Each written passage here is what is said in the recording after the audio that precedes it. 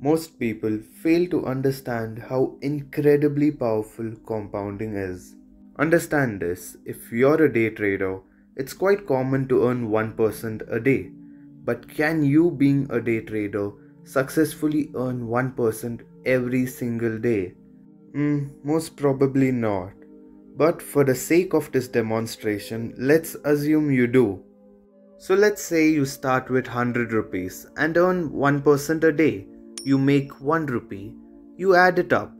Then the next day you make 1% on 101. That's 1 rupee 1 paisa.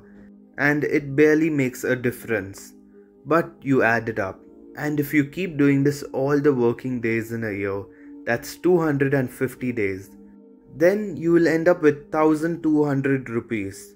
You have multiplied your principal by 12 times. But 1200 is nothing and you're still poor. So you continue to do this and by the fifth year you end up with 2 crore 50 lakhs. You are no longer poor. Nevertheless, you continue to do this and by the 10th year you now have 6000 crores. You are mega rich. Let's say you still continue and on the 15th year you will have this amount. I'm sorry, I can't even process how much this is. All I know is in a crore there are 7 zeros and this amount has 17 zeros. With this, you are now richer than the entire earth and all the people. Our supreme leader, you are now richer than Warren Buffett too.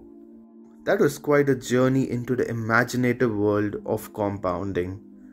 Although earning 1% person seems like quite an easy task, doing it on that scale and duration seems unrealistic. And although unrealistic, this example shows the true potential of how powerful compound interest can be. Now, let's get into something that is realistic a form of compounding that's not only easy but also necessary to grow massive amount of wealth. Now, in order to understand this compounding effect, you need to understand a little about the history of our earth. You all might know that at one point of time in history, our earth was covered in ice, also known as Ice Age.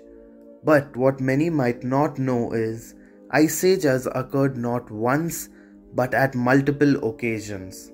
In fact, scientists have recorded the possibility of up to 5 ice ages throughout the history of Earth. Since the 19th century, scientists have been trying to study and understand why did ice age occur and not once but at multiple occasions. Like the amount of energy needed to freeze the planet over and over again is staggering. What on earth could be causing these cycles?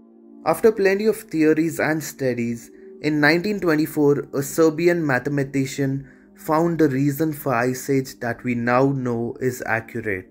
The gravitational pull of the sun and moon gently affects the earth's motion and tilt towards the sun. During parts of this cycle, which can last tens of thousands of years, the summers become a little less hot whereas the winters stay more or less the same. Now, how ice age begin is when a summer never gets warm enough to melt the previous winter snow. The leftover ice base makes it easier for more snow to gather during the next winter. Again, during the next summer, lesser snow melts, which results in accumulation of more snow during the coming winter. This cycle goes on for few hundreds of years, resulting in the earth being completely covered in ice, which is ice age as we know. Normally, one thinks of ice age being caused by a solar event that drastically drops the earth's temperature and therefore freezing it. What one fails to see is it's the tiny compounding effect of a little cooler summer that causes ice age. Similarly, with the formation of wealth, Many feel in order to get rich, they need a jackpot or a massive event of fortune that earns them millions or billions at once. But the reality being, true wealth is created just as Ice Age, a little lesser expenditure or loss, while profits being more or less the same. Repeat the same over and over again, and the compounding effect is astonishing. A very common yet underappreciated advice among most of the wealthy businessmen is live below your means and try to limit your losses because compounding works both the ways. There is no point of earning a fortune and compounding it if you are compounding your losses too. You see, compounding is truly magical and eighth wonder of the world. It not only applies to money but your energy, your goals, your ambitions. But here's the thing about compounding you need to give it time to see its magic. In an interview, Jeff Bezos asked Warren Buffett, Your investment style is so simple and brilliant. Why doesn't everyone just copy you?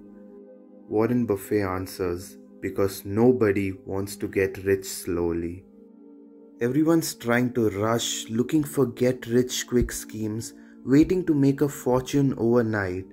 The thing with trying to make a quick fortune is you can lose money equally fast. And as I've explained with the Ice Age example, creating wealth doesn't depend on how much of a fortune you can earn but how much of expenditures and losses you can reduce. There's a beautiful quote on the stock market. The stock market is an instrument that transfers money from the impatient to the patient. So hope you enjoyed this video. Do subscribe as plenty more mind-blowing videos coming soon.